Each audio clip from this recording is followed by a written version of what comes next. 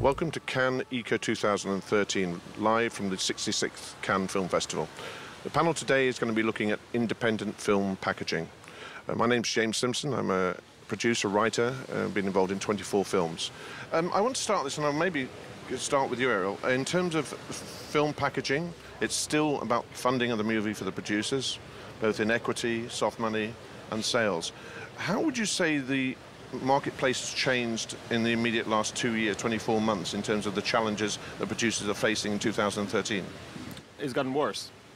Yeah, and, and you'd put that down to in, in the main? People are just more demanding in terms of what uh, is going to drag them out to a movie theater and get out their comfort and their internet addiction uh, and, and go out to see movies in movie theaters. And home entertainment is declining, or some would say dying. Maybe many, many people are watching films online, but the question is, are they paying for it? You know, there's a lot of there's piracy and illegal downloads. It's a big problem also. Uh, and Robert, how has that affected, you know, the problem of producers actually getting those numbers together in terms of how many territories they sell? It's, it's harder for producers now. They really have to set their sights on creating a package that uh, is going to um, stimulate distributors to get behind it with their marketing support and marketing efforts, tie in with your theatrical release and your VOD component. It's, it's no accident the movies that do well in the space, you know, they, it's, they're built to do that way. But I think right now it's in transition and, you know, sales agencies need to be um, sharp. We need to be flexible.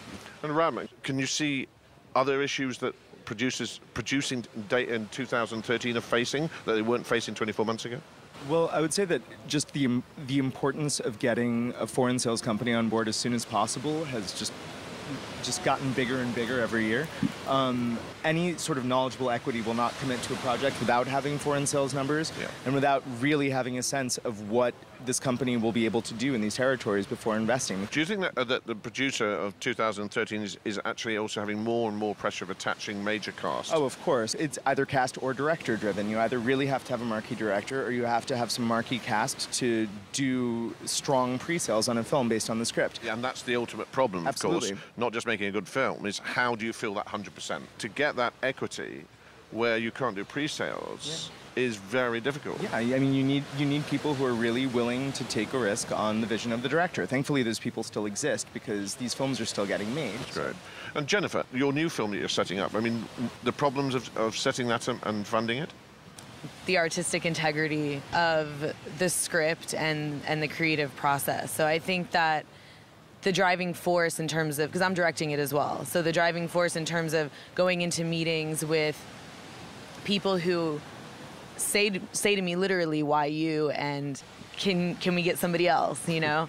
Um, can we replace you? No. Yeah, it's a respectable question, and I'm willing to answer it. And I know exactly why I'm directing that film. There's a short list of actors they want you to cast, um, and and again, for me, it's just about making this film the best film that it can possibly be, which doesn't always equate to casting those people. If you were to say one thing uh, to a producer out there today starting off, and I know there's a lot of experience, what would be the, one of the key things you'd say, this is what you need to do to help that film get funded? What would be your... One of the founders of this company, Mike Benaroya, has been very good at that, which is packing really a, a, really significant level of cast at a certain budget level and being able to come to market and have reasonable asking prices in the in the different territories helps a lot makes our, lot, our job a lot easier. Very quickly Robin, trying to get around one one thing you'd say that's different to that it, you know it's expensive for distributors to release a film. They they have to get behind the film so that you can make a piece of business out of it. And working with your distributors ahead of time making some considerations uh, that make the film a little more commercial. Those are those are great ideas for producers and help move the project along. Right, final comment. I would say I think it's really important just to listen to what the marketplace is telling you. If you're showing your project to foreign sales agents, and people keep telling you the same thing, people keep telling you what you need to make your project more marketable for the world. You have to listen to them. I mean, they're I mean, the foreign sales agents are the experts, and in this day and age, they're the ones who are going to make the difference about whether your film gets made or not.